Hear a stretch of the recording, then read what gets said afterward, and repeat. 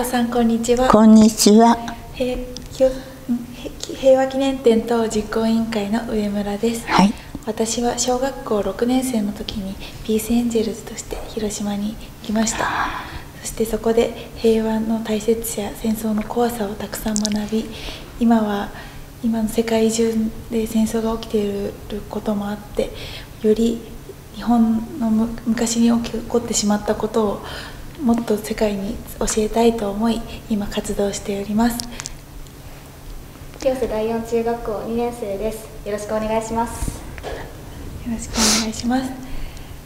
今日は清瀬市在住の永田さんに戦争当時の状況などについて語っていただこうと思います、うん、永田さんどうぞよろしくお願いいたします。こんにちは。よろしくお願いいたします。まあ1935年6月に生まれまして今年で88になっちゃってまさかね戦争体験をね話さなきゃいけないのかなっていうふうな思いもありましたけれどもやっぱり若い人たちにあの悲惨な戦争体験をね知っていただきたいと思いまして勇気を出してお話しすることにいたしました。よろしくお願いいたします。で私はあの父と母とそれで兄弟5人の次女なんです。姉がいて私がいて弟が2人いて妹の5人家族なんですね。で生まれはねあの父春ってご存知でしょうか？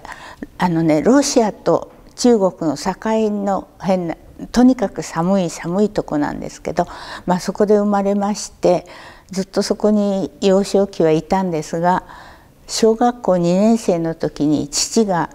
医者でしてあの千葉大学の医学部を出てねそれで医者をやってたんですけれどどうしても博士号を取りたいということで家族を全部連れて東京の阿佐ヶ谷というところにあのおじいさんのね家があったのでそこへまあ戦争中でしたけどみんなで引き上げてというか東京に来たんですね。そしたらそこでやっぱりまあ連日戦争中でしたから食料はないし、まあ、あちこちで爆撃があったりして大変だったんですけれどそれで小学校2年生の時に姉が4年生で学童疎開に4年生以上が学童疎開だったんですけど行かないということでじゃあ誰か行かなきゃっていうことで私が長野のあの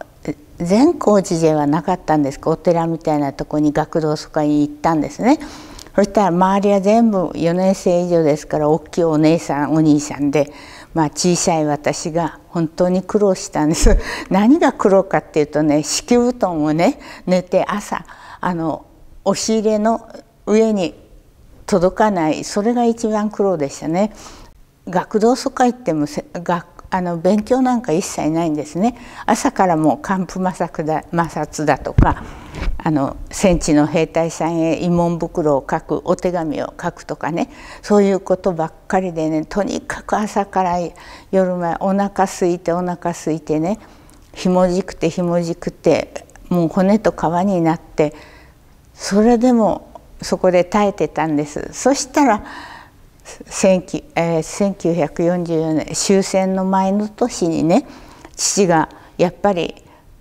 食べるものもなくて配給っていうと大豆なんです。で大豆をね水にふやかして塩水にふやかしてそれを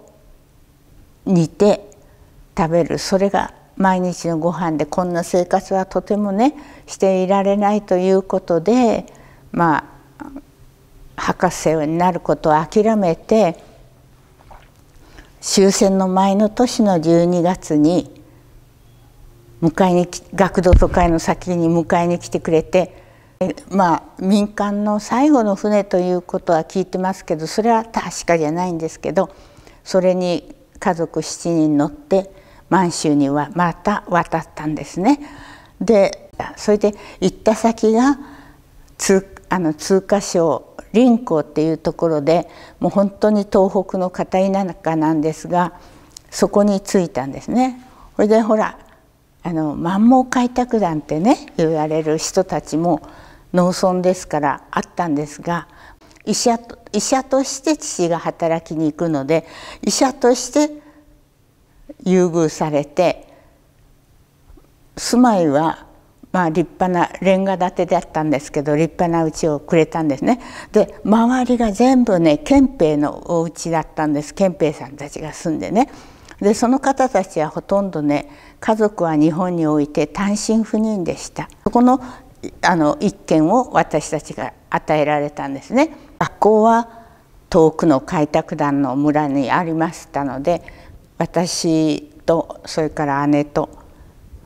弟がまあ1年生になる時だったのでそこまで通っては行ってたんです。遠くだったんです。ですから帰ってくるとね遊ぶのは中国人の子供と一緒に中国語でうちの周りで遊んでたんですけど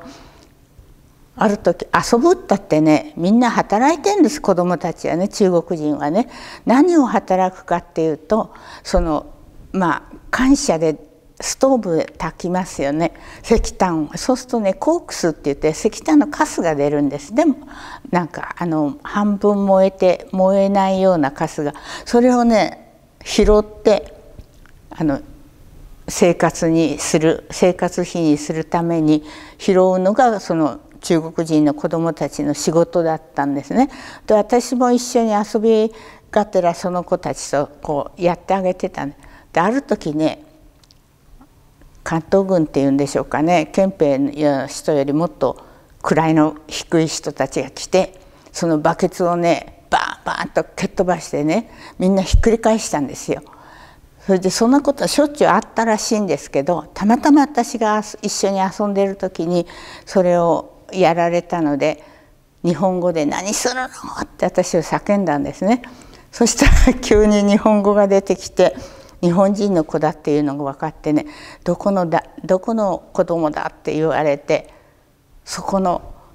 に住んでる倉口っていう子ですって言ったらねそこの住まいっていうのが憲兵の社宅だったんです周りがね。それでびっくりしてねその あのまあ憲兵よりうんとあの位の低い兵隊さんたちがね「すいませんでした」って言ってねもうみん34人いたかな？みんなでね拾いでね元のようにしてねもう、まあの中国人の子供たちはみんなあっけに取られてるんです何が起きたのか そしてね「すいません」ってそれで言って言わないでくださいって私に言うわけよ。その憲兵に家へ帰ってね親に言ったら自分たちが今度ねどんな体罰を受けるかわからないから言わないでくれって言うからね。でも私は黙って怒ってたらやっぱり飴をくれてねあのこれあげるから黙ってですだから私だけじゃダメって言ってねその遊んでた子供たちにもあげたっていう記憶があります。そしてそんなこんなであの終戦になったんですが私がその終戦のあの天皇陛下の放送を聞いたのは覚えてないんですけどとにかく学校でいてみんな急に返されたんですね。それが学校から帰ってきてそしたら父と母がなんかすごく沈んだ顔してた。それが私の終戦かなという気はしますけれど。そしてままあそれからがねとにかく憲兵たちでみんなねだんだんいなくなるんですよね。だから本当にねあの自分たちだけはさっさと日本に帰ってったのかなっていう感じがしました。でもあの当時何が起きるかわからないということであの白いねえー、生産カリをねこう紙に包んでみんなに渡された弟たちは小さいから母が持ってたらしいんですけど私にも持たされてポケットに入れて何かあったらそれ飲んで死になさいって言われたんですね。でまあ小学校4年生の女の子でね何が起きたら飲むのか分かんないからとにかく持ってればいいわと思って持ってました。そんなこんなしてるうちに忘れもしない9月20日ですそれでその日に松明炊いてうわーっとねあの農民たちが中国の農民たちがねその感謝めがけて私たちの感謝めがけて襲ってきたんですね。でそれは前から大人の人たちはねなんとなく感じてていざっていう時はその町の中で一軒ある勇旅館っていう旅館に集結日本人は集結するっていうことになってたらしいんです。それでねその松明炊いてうおっていうのがなんとなく聞こえてきたっていうことでみんなその一斉にもう気の身気のまま何にも持たずに上を家から飛び出してその勇旅館をめがけて走っていったんですけど私が1年生に上がったばっかりの弟と2人でもうとにかく逃げろっていうことでそこへめがけて行ったんですね。で途中で父と母があのたちとはぐれちゃって走っても追いつかないんですよね。でみんなどんどん行くけど追いつかないグループが何人か残ってそのやっとの思いでどのくらい走ったかは覚えてませんけど行ったらもう勇旅館の裏の門がもうびっちり閉まられて私たちは入れなかったんですそこへね。そうしましたらそこの逃げ遅れたおじさんとかおばさんとか赤ちゃん抱いてる若いお母さんいましたけどたちがねもう入れないということで開けてくれないから中からねそしたら誰かがそばに豚小屋があったんですね。で日本の豚小屋みたいに綺麗な豚小屋じゃなくてもうずるずるずぶぶあのしたね沼みたいなズブズブしたとこでしたけどそこへ隠れようっていうことでみんなでそこへ入ったんででもうとにかくズブズブ濡れてで首だけ出してねしゃがんで首だけ出してたんですけどそれでその豚小屋のそこをねもう中国人がもう言いながらね勇旅館を開けるあれで石は投げるわどんどこどんどこいたんでうろうろしてましたで怖いからじっとしてねいたんです弟のも泣かないようにって言ってねみんなも静かにいたんですけどその中でね赤ちゃんがいたんだよね。で赤ちゃんが泣き出したんですね。でなかなかお母さんがねなだめてたけどなだめられなくて泣き通してそしてそうすると人間の本能でしょうか。男の人たちが男ったっておじいさんたちだったと思うんですけど「殺せ殺せ」って言うんですよね。で大きな声で「殺せ」って言えないか「殺せ」ってもう声を殺して殺せ殺せ。ほいでもう赤ちゃんは泣き止まないしね。見つかると私たち全員あの引きずり出されるのでそのお母さんがね「ごめんなさいねなんとかちゃん」って言って首を絞めの目の前で見たんだね。それで弟は弟で「私のこと姉ちゃんおしっこしたい」って言うから「もういいからそこでおしっこしなさい黙っててねいい子だねあんたはいい子だね」ってね4年生の私がね1年生の弟をな慰めてそれでいたんです。そしてそうこうしてるうちにね夜が明けて明るくなってきたらそのお母さんが赤ちゃん死んだ赤ちゃん抱いてずっとねそこの豚小屋出ていくのをもう本当に忘れられないですね。それでその時もうお母さん気が狂ってて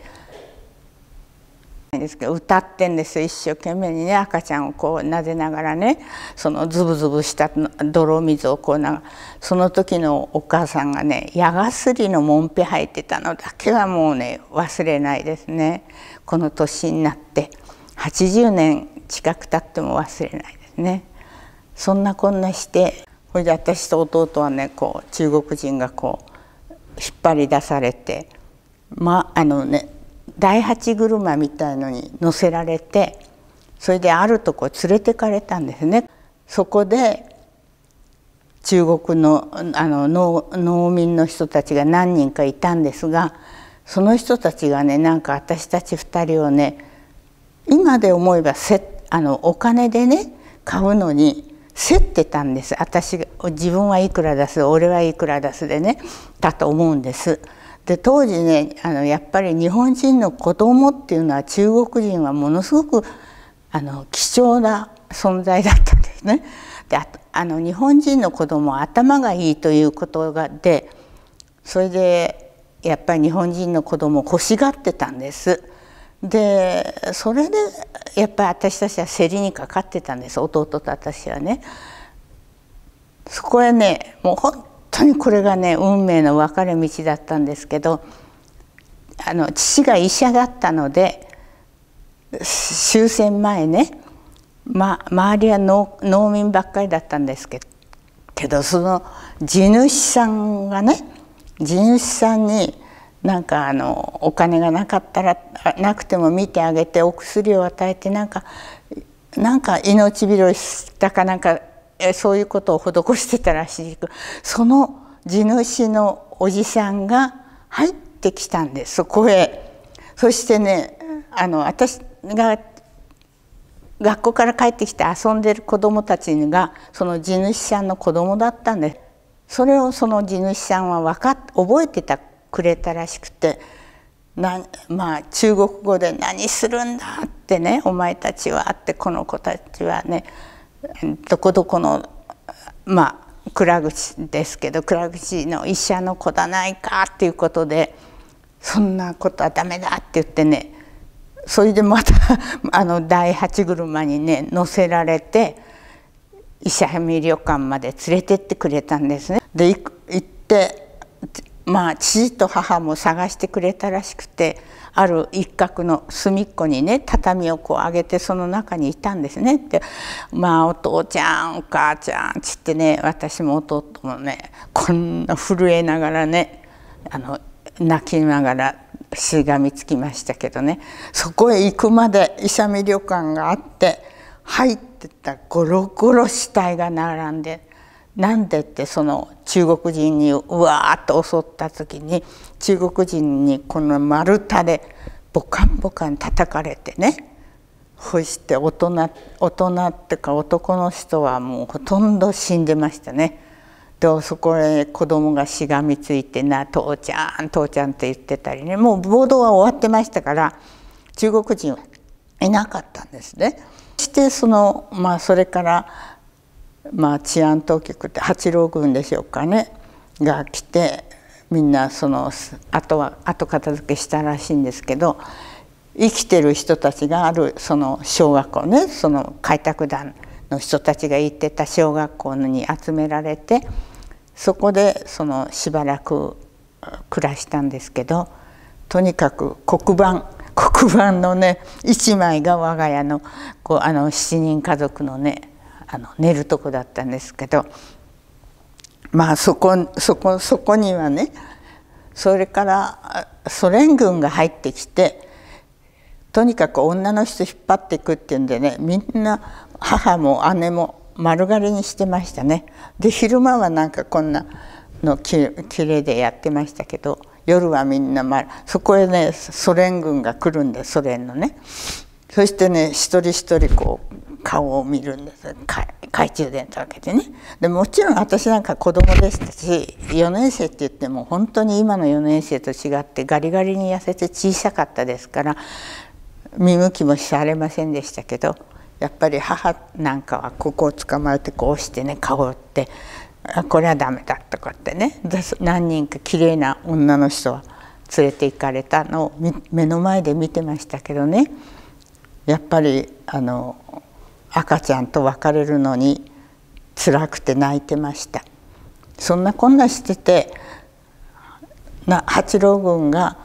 全部あの通過省林庫っていうとこでしたから通過省っていうとねこあ林庫っていうと今の清瀬ぐらいで通過省っていうと都都内みたいな大きい都市なんですね。でそこに全部日本人が集められてあの行きました。その時に私と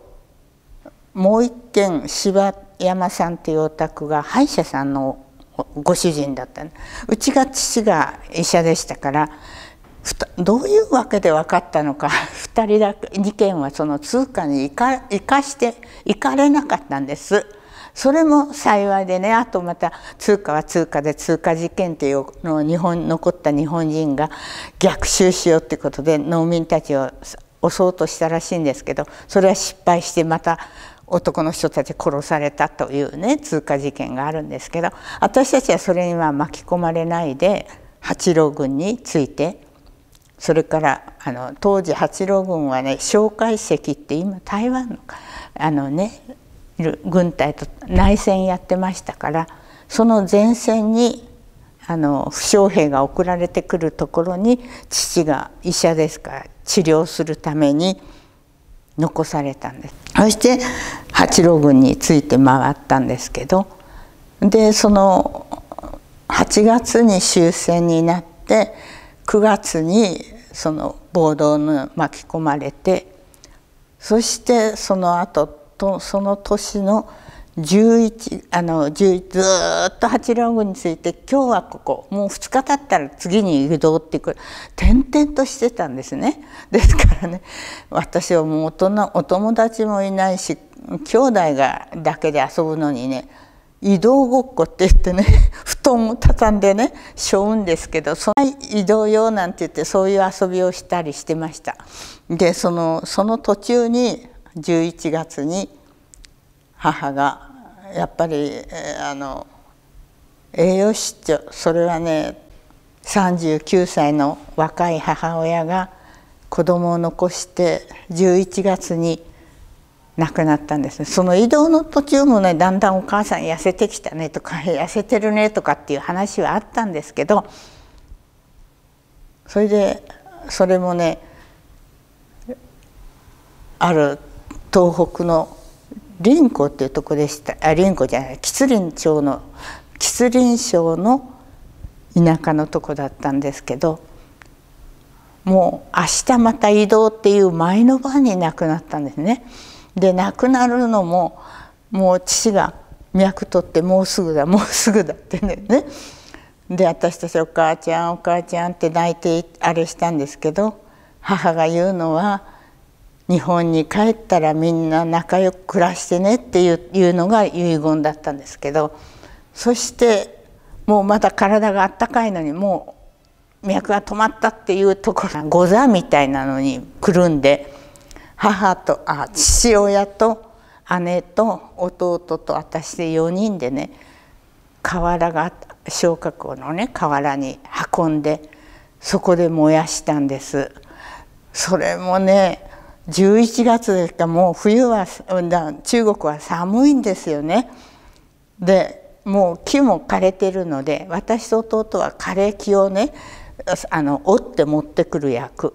それで姉と弟あ弟あじゃ父親が役役役目でね本当にね夜何時頃行ったのかな暗くなってましたけど運んで行って朝開ける夜が明けるまでいや燃えないんですよもっと取ってこいもっとこもっと取ってこいって言って木を取ってそしてその本当に自分の母親の内臓をねその芝で芝刈りじゃない芝で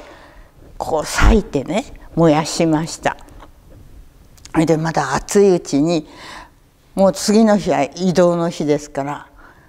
もうそんなこと言ってられないか暑いのをねほんと素手で拾ってこんな袋に入れて家へ持って帰ってもう泣いてる暇ない ほいでほら今日はもうまた移動だからって言ってまた布団をくるんでね用意してそれで移動したそれで母の遺骨は持ってこれたんです。で本当にねこんなぐらいでもいいのはこんなにありました母の骨はね。でそれを持ってまた移動移動の時には持って歩いたんですけどね。そしてまあ南京が解放されてそれで中国のがもう戦争なくなってそして落ち着いた時に日本人の集団引き上げが始まってその時で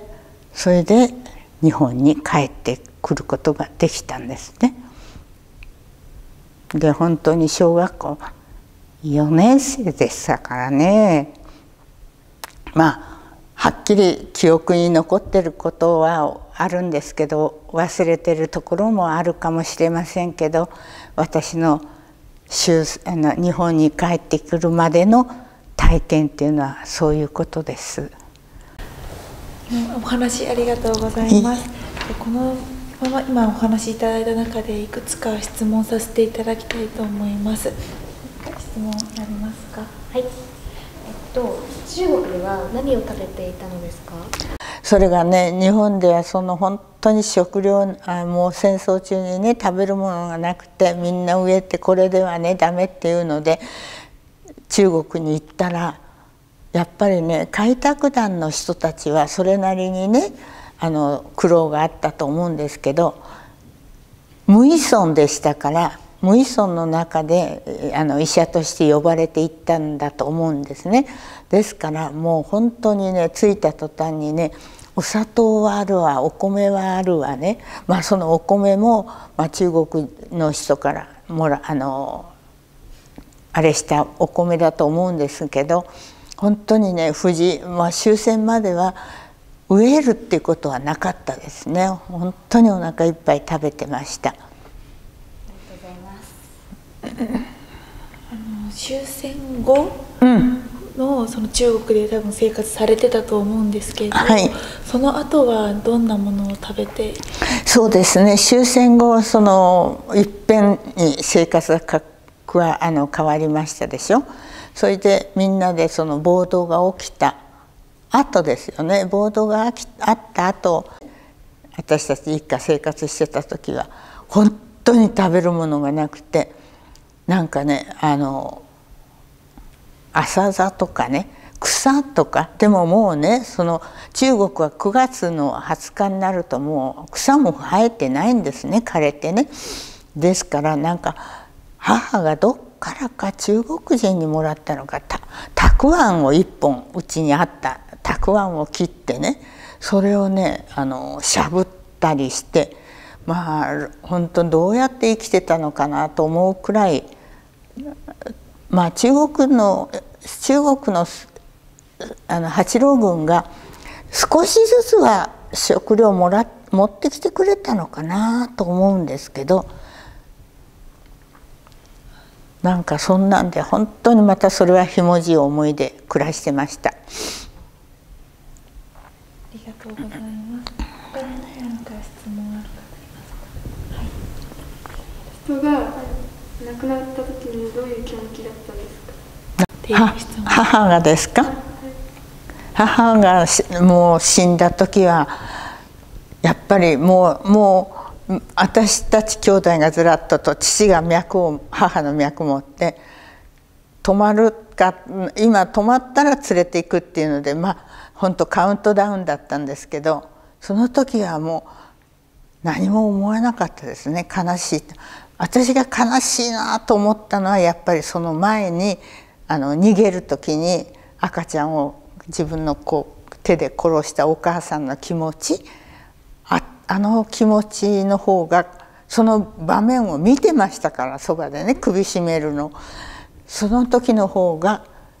怖かったというか悲しかった。で今こういう平和な世の中ですのであの喜怒哀楽っていうのが出,、ま、出るんですけどもう本当にね怖いあのそういう極限の状態になった時はね泣けないです怖い怖いという方が先で感情がなくなっちゃうんですね人間ってね。ということで母が死んだ時はね死んだ瞬間は悲しいとかなんかありませんでした。では最後最後次お願いします。朝早から学童疎開する時はどのような気持ちでしたか？もうねそれは今でも覚えてんですけど2年私は2年生で小さいし周りはみんなお姉さんあのお兄さんでしたからもう本当にねいじめられてました。それで朝とにかく朝起きて布団をあげるのが上がらないでそれを助けてくれる人がいない。そこでいじめられてそれでもう体操するの寒風摩擦したり手紙書くのもやっぱり同じようにやられるんですね。2年生で行ったからあんた2年生だからこうでいいよとかっていうことはありませんでしたのでそれに食いついていくのがもう本当につらかったです。ありがとうございます。私からも質,、はい、質問を。と先ほどその中国に住んでいたとあの戦前ですね、うん、まで住んでたそのお家の周りに憲兵という兵隊の、うん、と一緒に住んでいた一緒、うん、その社宅に住んでいたとおっしゃられてたんですけれども、その憲兵っていうのが、うん、そのどのぐらいの兵隊なのかその憲兵っていうものが私そうですよね。そうですよね。今の位で言うとどういう位になるんでしょうね。やっぱりね普通の兵隊ではないんですで普通のね兵隊でねあれなの関東軍って関東軍っていうねそれがもう召集されて普通の本当あの兵隊さんだったみたいな人がいるんでその自衛官あの自衛隊でも上位の上の人たちですよね。うん。というところに一緒にそうなんだそうでその方その人たちは本当にもう日本日本軍の偉い人たちですからね、だから家族は日本に置いてそれでその若いお姉ちゃんお姉さんをきれいなみんなねあの綺麗な着物着てましたけどそういう人を連れて行ってたんです。で余談ですけど私たちがその遊んでる向こうか遠くにねなんか小屋があって昼間はね閉まってんですけど夜ぽっかりと明かりがつく小屋があってそこがねなんだか不思議だったんですけど母に聞いてもねあそこが絶対近寄るな行くな行くなって言われてるから行ってないんですけど私が大人になって今思うにはあ慰安所だったんだなと分かったんですね。だからその本当関東軍で来てた下っ端の兵隊さんたちがそこで中国の女の人とかをとあれする慰安婦。だからね日本政府がね慰安婦なんかいない慰安所なんかないなんてとんでも私この目で見ましたもん。それが多分そうだったと思うんです。戦後の中国での生活がとても大変だったということを今お聞きしてとても感じました。これからの帰国後のお話お聞きしたいんですがよろしいですか？はい。お願いします。私あの小学校4年生の時に終戦になってそれ以来お話ししたような生活というかあの暮らしをしておりましたのでそれ以来学校には行ってないんですね。そしてあの日本に帰ってくる直前ちょっと前にはあの吉林市内で小学校の寺子屋みたいなのがあったんですけど弟たちはそこで行ったんですが私はちょっとあの母が 2, 2度目の母がおりましたので母のお手伝いもあるからっていうことで行ってなくてだから4年生のままんまなんですね卒業ね。そして日本に帰ってきました第五福竜丸じゃなくて 第六次の高砂丸って帰ってきたんですがあの京都の舞鶴にね引き上げて帰ってきましてそこであのまあ東京にあの皆さんそれぞれ郷里に帰る方は帰ったんですが私たちはその郷里がないので父と一緒にやっぱり東京に来ました。で東京のあの世田谷区のあのところに引き上げ寮引き上げ寮というのを建ててあったのでそこへまず引き上げてきたんですね。それで私がねやっぱり最後に満州に渡る前に日本にで見た景色とはまるって変わってもう帰ってきた時18ですからねまるって変わってね本当にね10月で9月でした。9月の末でしたけどこんなにね緑が多いに国があるのかと思うくらい中国って四季がないんです。夏が終わったらもうすぐ冬になるんですよね。だからねあの冬の樹氷っていうのはもうしょっちゅう見てましたけど日本のねほんと四季がある日本って素晴らしいなと思いましたね。それで舞鶴から東京に来る間列車の中で本当に緑の多い国だなというのを感じたんです。でまあそれはそれとして世田谷の引き上げ寮に来てそしてそこからそこで1ヶ月ぐらい暮らしましたでしょうかそれでそれぞれあの赤羽と品川とそれから清瀬と引き上げ料があるのでどこへ行くかという時に清瀬の引き上げ料をもらもらうことになったんですね。ところが父があのやっぱりこんだけの子供まあ姉はもうねあの自立してましたけど子供を抱えてこれから東京のど真ん中では生活できないということで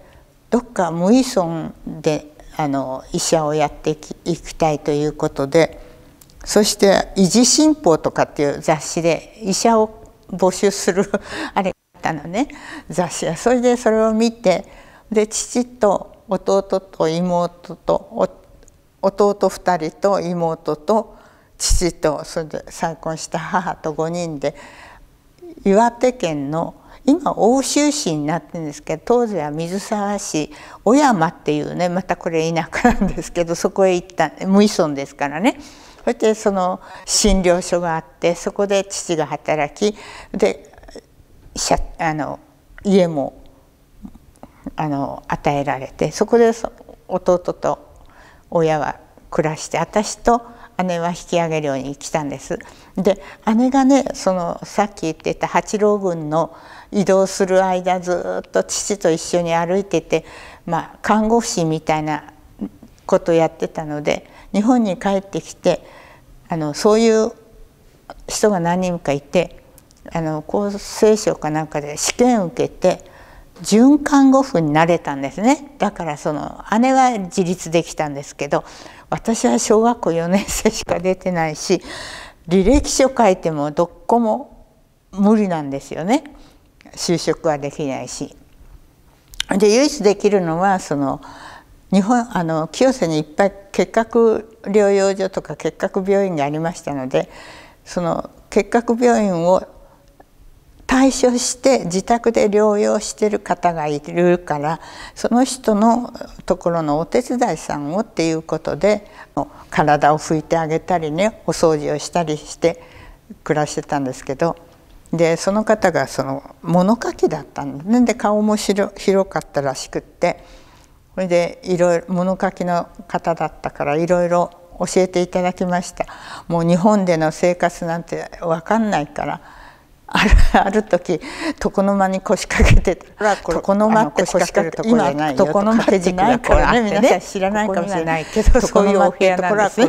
でそういうところには腰掛けるもんじゃないっていうことを教わったりね。ここにはないけどそういうお部屋なんですね。でそういうところには腰掛けるもんじゃないっていうことを目に沿ってこうやって拭かないで畳をシュシュシュシュ拭いてたらねそれは違うということを畳の目に沿ってこうやって拭かないでシュシュシュシュ拭いてたらね上からやるんです違うということを教わったりね。お掃除はが上から降りてきてそれで最後下上からやるんですって畑をかけるのにね。上からね。下からそれは埃が上から降りてきてそれで最後下言われたりいうこともまあそんなことをね日本の文化というのをね反対だっていうことをね言われたりそしてその方がかわいそうだねことをね日本の文化というのをねこういう暮らししてるのはそしてその方がかわいそうだねっていうことでのところへ来てねこういう暮らししてある暁印刷っていうところにかわいそうだねっていう紹介されていったんですね。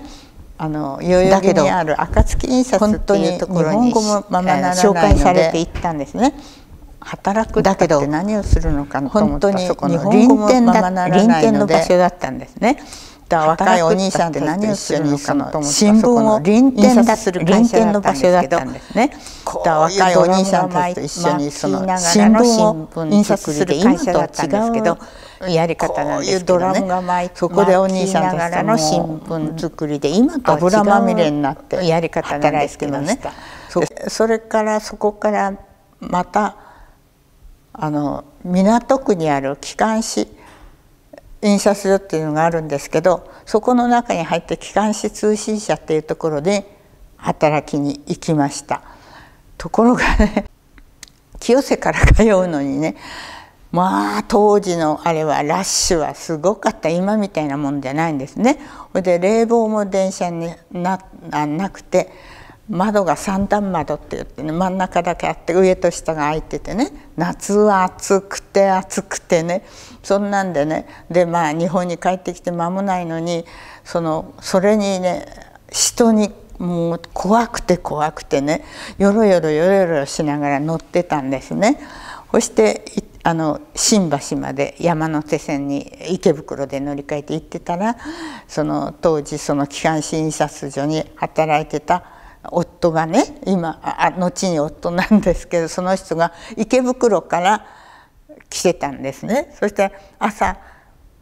まあなんとなく一緒のコースですから私を見てたらしくてなんてかわいそうにまあこれは大変だと思ってそれからね僕が連れてってやるから池袋の駅のここで何時に待ってなさいねっていうことから私はもう早めに家を出て西武線に乗ってそこで待っててそしたらその一緒に連れてってくれてたんですね。でそんな生活をしてるうちに僕の家に遊びに来ないかって言われて池袋だったもんですから何が何だか分かんなくてついてったらそこのお父さんが彼のお父さんが「犬や猫じゃあるまいし何でもかんでも拾ってくるんじゃないよ」っていうのがね何の意味か分かんなかった後でね私のこと言ってんだっていうのが分かったんです。でそんなことを言われてまあ誰も賛成してくれないでも私はあ結婚して一緒に暮らすっていうことは私の食べていくのにもうなんとか食べていけるなと思ってねいたし結婚しますもしなさんも何もなく姉は看護婦でもう出てて家を出てあの引き上げ寮に引き上げ住宅に私一人でいましたからそこからなんとなく結婚生活が始まったんですね。ですから18で中国から帰ってきてそして今88ですから70年間清瀬にいるんです私はどっこも行ったことないんです清瀬以外はね。でその引き上げ住宅でずっと暮らしててそれが都営住宅になり都営住宅に暮らして子供男の子2人が生まれてそこで暮らしてそれで今はあの梅園の公社住宅に一人で暮らしてます。夫がなあの25年前に死にましたのでそんな生活をねしてるんですけれど本当にねなな生きるためにどうやったら生きていかれるかっていう私の人生だったなとつくづく思っております。今まだねこうやってなんとなく生きていられるのでまあこれで私の人生はよしと知るかということでね あの暮らしております。そんなことでしょうか。ありがとうございましたそれでは私たちからと最後質問をいくつかしたいと思います、はい。はい、えっと清瀬以外にどこか住んでみたいとか思ったりはしましたか、はい、もうね、そんな余裕なかったんですね。もう生きるだけが精一杯でしたからもうどこでもよかったんです。ただ日本は綺麗なね四季があって本当に緑が多くていいとこだし行きたくないとこは中国一回もね行ってないんですねあとね旅行でも何でももう海外っていうともう帰れなくなるんじゃないかあんな思いまたするんじゃないかっていうなんかねそういうのがあってね今ここが一番平和で幸せです。ありがとうございます。えー、お願いします。お話を聞いてなんかとても辛い人生を歩んできたんだなっていうふうに思いともうなんか人生をやめたいとかもう人生生きるの辛いって思ったことあります。それがねやっぱりね今はねああもう早くお迎えが来てもいいしいつ死んでもいいとは思いますけどここに至るまではね生きる生きて生き延びるんだっていうことでもう精一杯でしたねなんか死ぬ死のうかとかねこういう生活は嫌だとかっていうことは一度も思ったことないです。自分が生きていくことがもう生き抜くことがねどんなにあの大変かということを身をもって体験いたしましたね。ありがとうございます。最後に縄田さんから、えっと、伝えたい思い若者へのメッセージを、えっと、教えていただきたいです。はいやっぱり皆さんにね私の体験を聞いていただいて本当に私の人生って今振り返るとね大変な中をくぐってきたんだなということをつくづく思いますそしてやっぱりねこの80年近く70何年日本で戦争が起きなかったということは本当にね皆さんの力それと終戦後にできた憲法9条をね守ってみんなで守ってきたからねこうやって平和な世の中が続いているんだなというふうに思います。今外国でねあのいろいろ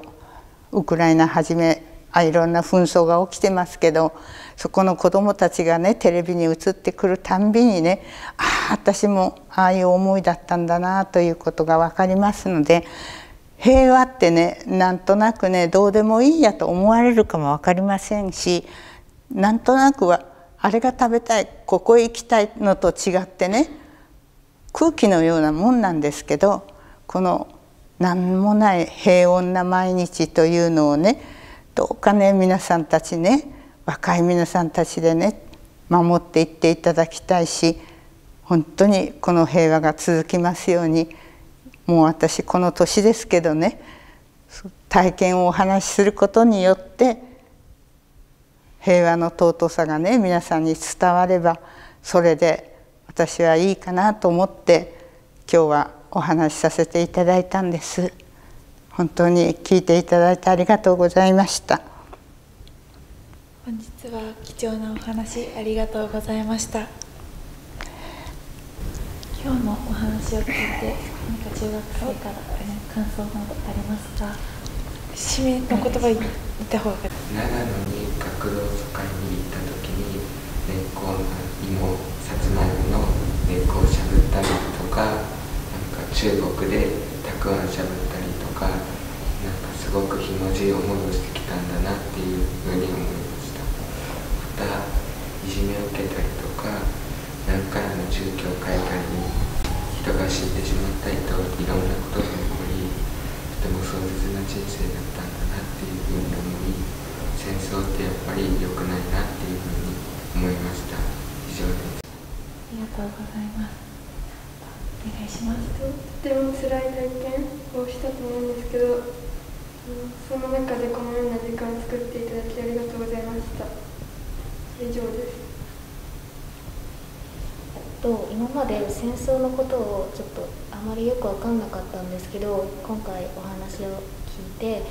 なんかすごい戦争ってすごい嫌でなんかそういう人とか死んじゃってすごい悲しいものなんだなってすごい思いした。今回もありがとうございました。